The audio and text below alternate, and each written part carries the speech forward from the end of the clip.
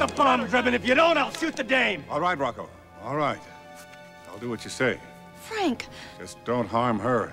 Frank, if you pull out the bomb, you'll kill me anyway, and everyone else in this theater. Yeah, no dice, Rocco. Then I'll plug her. You shoot her and I'll empty this envelope. Frank, think about it. All right, you'll be dead. Then you'll kill yourself, and everyone here. Yeah. And I'll shoot you, Drebin, if you don't do as I say. Jane, I'd be safe. So would everyone else. But you'd be dead. this is getting a little complicated, Rocco. Let's look at this logically. You're the psychotic. You should have the envelope. I should have the gun. Frank? I know what I'm doing.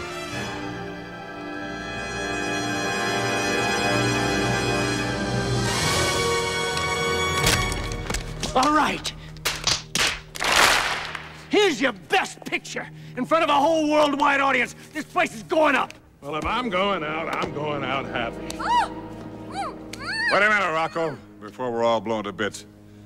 Mind if I pull the underwear out of my crack? Man's got to go comfortable. All right, but that's it. All right, give it up, Rocco. You're history. Look, George Hamilton.